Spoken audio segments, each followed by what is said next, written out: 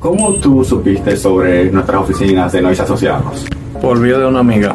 ¿Y me puedes decir, estuviste contento de que te comunicaste con nosotros y aprendiste sobre tu caso? Sí. Eh, pude resolver, eh, la cual otros abogados me habían engañado. Perdí un valor como de, de 6 mil dólares y no pudieron resolverme nada. Lo que hicieron fue que me perjudicaron más el caso. ¿Y qué fue sobre nuestro servicio que cumplió con sus expectativas? Excelentemente bien, eh, se resolvió todo antes de lo, de lo prometido. Entonces, comparta un poquito sobre su historia de inmigrante.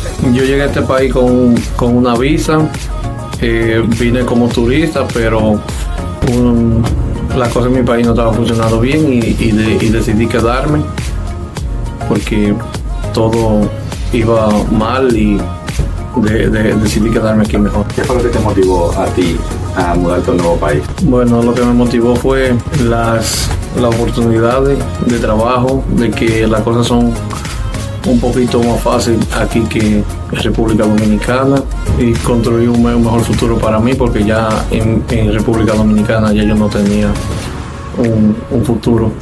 ¿Y qué es lo que más te extraña de la República Dominicana? Bueno, extraño mi familia, mi gente, todo. Y cuéntanos, ¿cuáles fueron algunas de las dificultades que usted enfrentó aquí en Estados Unidos y cómo las sobresalió? Bueno, las dificultades como a veces un poquito de discriminación, a veces porque uno no tiene un estatus legal, eh, se aprovechan de uno en los trabajos, no le pagan lo, lo suficiente, en fin. ¿Y qué mensaje usted le tiene a los inmigrantes que están ahí viéndolo?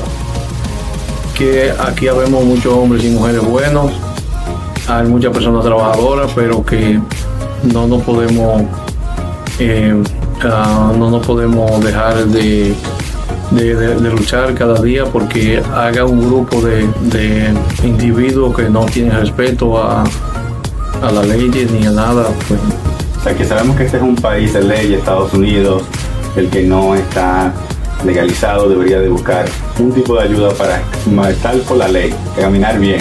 sí, aquí yo creo que este no, no me había podido pasar otra cosa mejor que llegar aquí porque aquí eh, las cosas que él hace bien le van a salir bien y, y hay mucha gente que viene a hacer cosas malas que yo no estoy de acuerdo con eso, esas son cosas que son in- intolerables.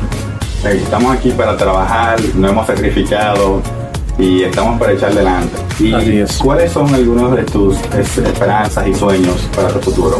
Bueno, mi esperanza es primeramente eh, lo- lograr de tener mi estatus y tener una casa, construir una familia, eh, tener el privilegio de ir a visitar a mi familia y que ellos me visiten a mí. Perfecto. ¿Y qué mensaje usted le tiene a los gringos de este país? que no todos somos iguales, somos muy diferentes. Hay muchos hombres y mujeres de toda parte del mundo, muy trabajadoras, que hagan un grupito que sean delincuentes, pues eh, uno no tiene la culpa de eso, que todos no somos iguales.